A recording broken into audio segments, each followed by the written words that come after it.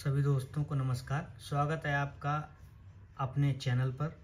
आज हम बात करेंगे यूडाइस का। यूडाइस प्लस को कैसे लॉगिन करें मोबाइल पर और लैपटॉप पर और कैसे स्टूडेंट डेटा को फिल किया जाए पासवर्ड कैसे रीजनरेट किया जाए, इन सभी समस्याओं का आज हम इस वीडियो में समाधान करेंगे।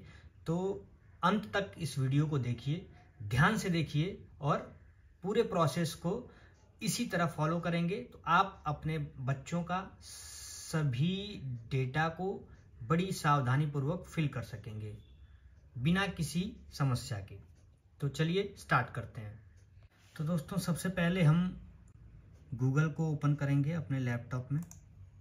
अब गूगल पे हमें लिखना है U DISE U DISE plus भी लिख सकते हैं यू डाइस भी लिख सकते हैं। दोनों में से कोई सा भी ऑप्शन हो ओपन कर सकते हैं। यू डाइस प्लस को हमने ओपन कर लिया है। तो ये जो पहला लिंक है U plus dot government dot in इसको हम ओपन कर लेंगे। अब ये जैसे ही ओपन होगा तो स्क्रीन इस तरह आपको नज़र आएगा। इस पे हम आ, राइट साइड टॉप में देखेंगे लॉगिन का ऑप्शन है। इस लॉगिन पे क्लिक करेंगे तो इसके पहले हमने टीचर मॉड्यूल ये और प्रोफ़ाइल फैसिलिटीज़ को फिल किया था। अभी हम लॉगिन पे जब जाएँगे तो नीचे आएगा स्टूडेंट मॉड्यूल इसमें यहाँ पे स्टेट हम अपना सिलेक्ट करेंगे। जैसे कि मान लीजिए मेरा स्टेट उत्तर प्रदेश है तो मैंने उत्तर प्रदेश सिलेक्ट कर लिया देन यहाँ से गो कर लेंगे। अब ये एक स्क्रीन खुली हुई है जिसमें लिखा हुआ है login for student database management system S D M S module Uttar Pradesh. तो इस बॉक्स के अंदर कहीं भी हम क्लिक कर लेंगे।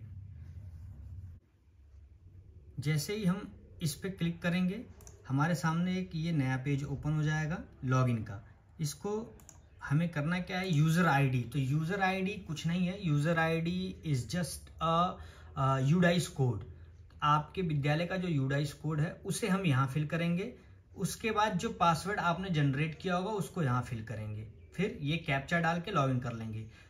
अगर आपको पासवर्ड नहीं पता है या नहीं ध्यान है तो हम फॉरगेट पे आ जाएँगे। फॉरगेट पासवर्ड पे जाने के बाद यहाँ पे यूज़र आईडी में वही जो मैंने बताया यूडाइस कोड यूडाइस को यहाँ फिल करेंगे और रजिस्टर्ड मोबाइल नंबर जो भी मोबाइल नंबर एमडीएम या प्रेरणा पोर्टल पर रजिस्टर्ड है, वो मोबाइल नंबर यहाँ हम डाल के और कैप्चा डालेंगे। तो जैसे ही डालेंगे तो उसका पासवर्ड आपके मोबाइल पे थ्रू एसएमएस आ जाएगा। फिर हम वही पासवर्ड को यूज़ करते हुए इसको लॉगिन कर लेंगे। यूडाइस कोड और पासवर्ड डाल के। मान लीजिए मेरे विद्यालय का यूडाइस कोड और यूडाइस कोड ज़ीरो के साथ ही डालना है। विदाउट ज़ीरो आप डालेंगे तो लॉगिन नहीं कर पाएँगे। प्रॉब्लम फेस करेंगे।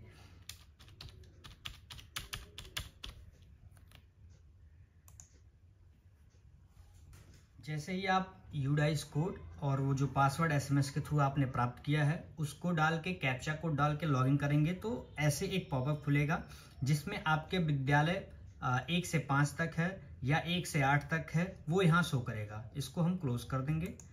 देन आपका स्क्रीन ऐसे शो करेगा कि आपके विद्यालय के एक, दो, तीन, चार कक्षा पाँच तक कितने बच्चों का नाम इसमें दर्ज है और कितने बच्चों का नहीं है। तो इसको हम या तो अगर सभी बच्चों का नाम शो कर रहा है तो आप व्यू और मैनेज में जाके उनको जो भी संशोधन उसमें करना है, उसको कर लेंगे। जनरल प्रोफ़ाइल ओपन करेंगे। यहाँ पे देखिए, बच्चे की डिटेल ओपन हो जाएगी। इसमें अगर आपको किसी भी प्रकार का संशोधन करना है, मेल, जेंडर, पिता का नाम, बच्चे का नाम, जो भी तो वो यहाँ से हम संशोधित कर लेंगे। अन्यथा, अगर हमें ऐड ही करना है बच्चों का नाम तो फिर हम स्कूल डैशबोर्ड पे आएँगे और यहाँ से ऐड स्टूडेंट कर लेंगे। क्योंकि अभी आप देख ही रहे हैं, मेरे विद्यालय का जस्ट एक बच्चा कक्षा एक में और एक बच्ची कक्षा एक में प्रदर्शित हो रहे हैं। तो मुझे और बच्चों को ऐड करना ही पड़ेगा। तो ऐड करने के लिए जब हम क्लिक करेंगे तो इसमें ये बच्चे के एक फॉर्म खुलेगा पूरा, जिसमें सभी बच्चों का नाम, gender, mother's name, father's name, guardian name, date of birth, ये सारी चीज़ें हम इसमें ऐड करेंगे। हाँ एक चीज़ और परेशान मत होइएगा, ये स्टूडेंट कोड, आईडी।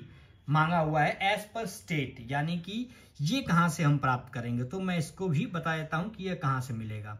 हम आ जाएँगे अपने प्रेरणा पोर्टल पर। प्रेरणा पोर्टल पे हम अपने टीचर को जैसे लॉगिन करते थे डीबीटी के लिए, वैसे ही लॉगिन कर लेंगे। उसके बाद सभी बच्चों का डेटा प्राप्त करने के लिए हम यहाँ से एक्सपोर्ट टू एक्सेल कर लेंगे।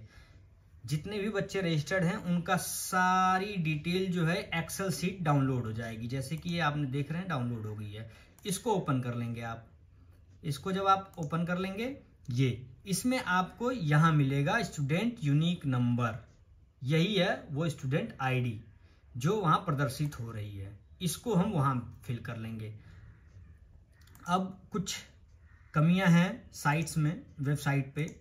जैसे कि स्टार्टिंग में ही आप देख रहे हैं ये स्कूल डैशबोर्ड पे अपलोड विया एक्सल अगर ये ऑप्शन अभी अवेलेबल नहीं है, ये ऑप्शन अगर अवेलेबल करा देती है गवर्नमेंट तो इससे बहुत इजी हो जाएगा जो हमने एक्सेल फ़ाइल ये प्रेरणा पोर्टल से डाउनलोड करी है। जस्ट यहीं पे आके हम उसको अपलोड कर लेंगे। यहाँ से।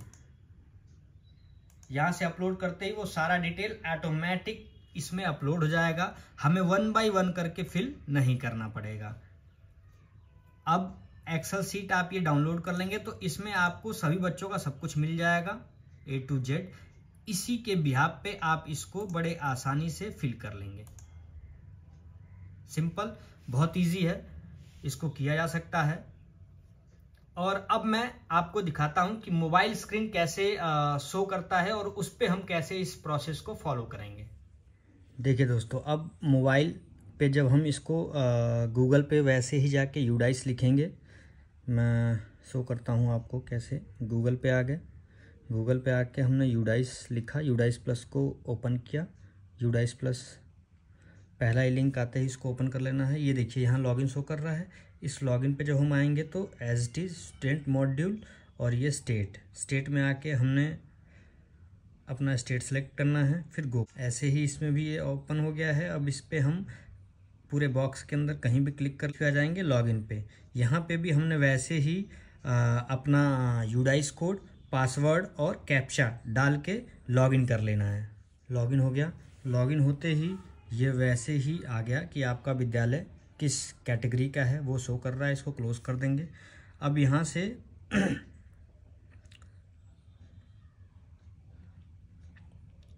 नीचे आने के बाद देखिए वो शो कर रहा है क्लास और वो व्यू मैनेजमेंट, जो मैंने बताया था संशोधन करने के लिए और ऐड स्टूडेंट से डिटेल ऐड करने के लिए। देखिए, अब ऐड स्टूडेंट पे हम गए तो ऐसे डिटेल पूरा ओपन हो गया, कक्षा एक का।